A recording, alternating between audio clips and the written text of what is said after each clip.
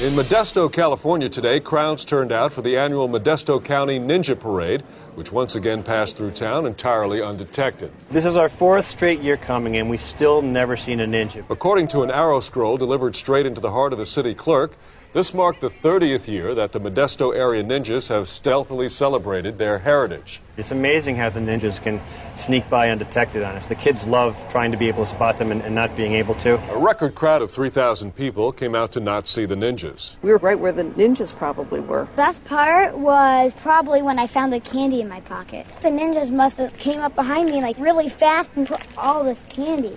Despite its long tradition, only once in 1984 was any evidence of the parade's presence captured on film.